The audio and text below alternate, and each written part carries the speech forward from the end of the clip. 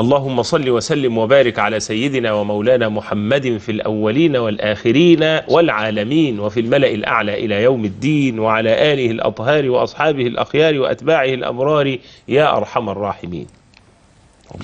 اللهم إذ اطلعت ليلة النصف من شعبان على خلقك فعد علينا بمنك وعتقك وقدر لنا من فضلك واسع رزقك واجعلنا ممن يقوم لك فيها ببعض حقك.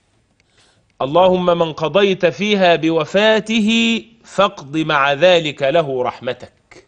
آمين يا رب العالمين. ومن قدرت طول حياته فاجعل له مع ذلك نعمتك. آمين يا رب العالمين. وبلغنا ما لا تبلغ الآمال إليه. آمين يا رب يا خير من وقفت الأقدام بين يديه. يا رب العالمين برحمتك يا أرحم الراحمين وصلى الله تعالى على سيدنا ومولانا محمد.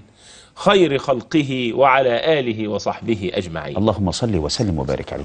فليش محمد يعني ربما يسأل البعض يقول هل هناك دعاء مأثور أو ذكر معروف لهذه الليلة أم أن الأمر متسع آه، ويتسع لأذكار كثيرة؟ كما أوردت الآن لسيد عبد القادر الجيلاني مثلا. نعم هذه الليلة يعني يعني مما اعتاد عليه المسلمون ونص عليه العلماء في مصنفاتهم التي ألفوها خصيصا في ليلة النصف من شعبان. نصوا على أن يعني من المستحسن ومن عادات الناس التي لا تخالف الشريعة أن تقرأ فيها سورة ياسين ثلاث مرات. مرة بنية طول العمر مع التوفيق للطاعة. ومرة بنية أن يعافينا الله تعالى من البلايا والعاهات ومرة بنية الاستغناء عن الناس وغنى القلب. هذه من المجربات في صلاح الأحوال وتيسير الأمور. وكذلك هناك دعاء أصله مروي عن سيدنا عبد الله بن مسعود رضي الله عنه وأرضاه.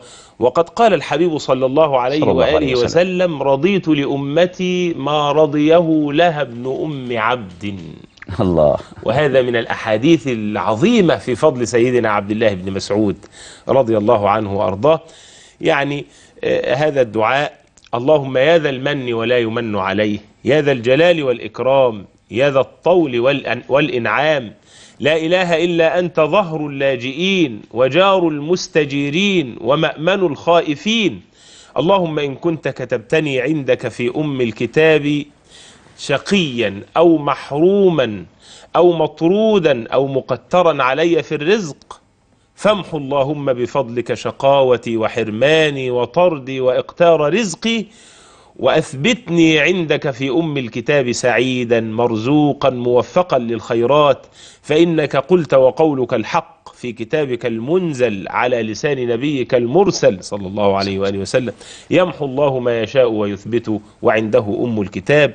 إلهي بالتجلي الأعظم. الله. في ليلة النصف من شهر شعبان المكرم التي يفرق فيها كل أمر حكيم ويبرم أسألك أن تكشف عنا من البلاء ما, ما نعلم وما لا نعلم وما أنت به أعلم إنك أنت الأعز الأكرم. وصلى الله تعالى وسلم على سيدنا محمد وعلى آله وصحبه وسلم.